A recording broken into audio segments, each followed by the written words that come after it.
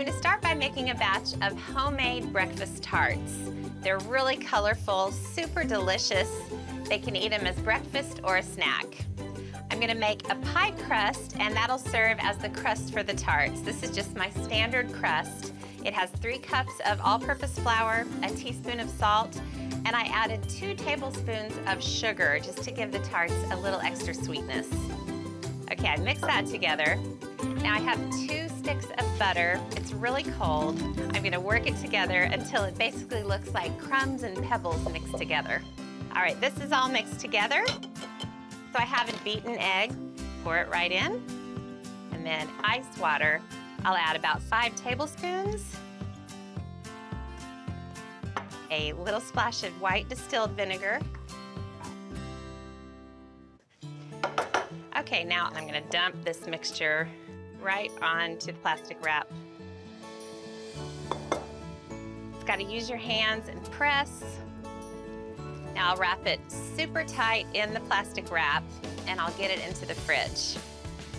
All right, I've got the dough. It's been chilling for an hour and I'm going to roll out half of it. It's better to roll out half of the batch of dough at a time. That way you don't run the risk of the whole batch of dough getting too warm to work with.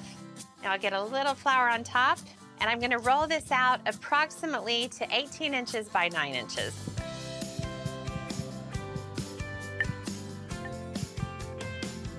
Okay, now I'll trim off the rough edges. Now I'm gonna cut this into eight equal rectangles. So I'm gonna grab a jar of berry preserves. You can do strawberry, you can do chocolate hazelnut spread if you prefer. And then I'll grab a little bit of egg wash. This is just an egg that I beat with a little bit of water. And I'll brush it around the edge of the crust. and then pick up the top piece and put it on top. Use your fingers to make the edges meet. Now I'll get a fork and crimp the edges just like you would a pie crust.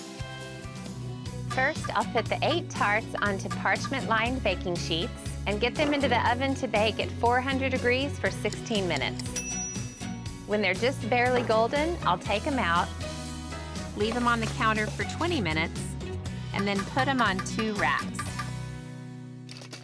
The little tarts are baked and cooled. Now, even though there's sweet jam on the inside, they don't look very exciting right now. They're just kind of plain pastries. Well, I'm about to change that. I am making a bright purple glazed spoon over the top. I'm just sifting some powdered sugar